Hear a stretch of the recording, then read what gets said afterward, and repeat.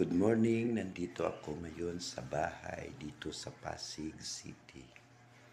Nag-arrange ako ng mga gamit dito at naglilinis kasi laging walang tao. Nandun ako nagbibidyo o nag-trailer sa mga lugar-lugar. Kauwi ko lang kagabi dito sa bahay para maglinis at maghanda sa pagdating ng bagong taon. Happy New Year sa mga kabisyo, shout up sa mga nagsusubaybay, nagpapalo, nag-heart o nagko-comment sa akin. Good morning sa inyong lahat. Nandito ako sa Pasig, dito sa Pasig, sa pinagbuhatan, nagpayong. Centennial to, nagpayong Pasig City. Good morning sa mga kabisyo, sa lahat na nagsusubaybay sa akin. Dito ako sa bahay, sa Pasig, ito yung sala namin.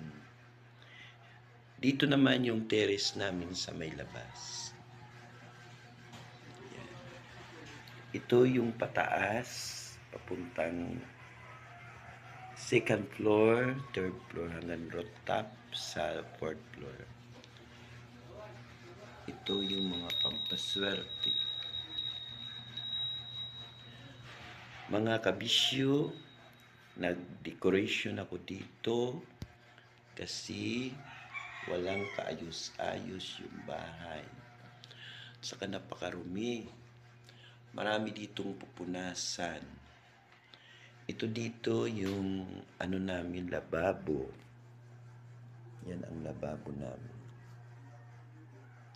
Mga kabisyo, dito ako sa kwarto. Hindi pa ako nagliligpit.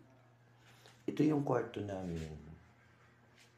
Ito yung kwarto. Medyo magulo pa.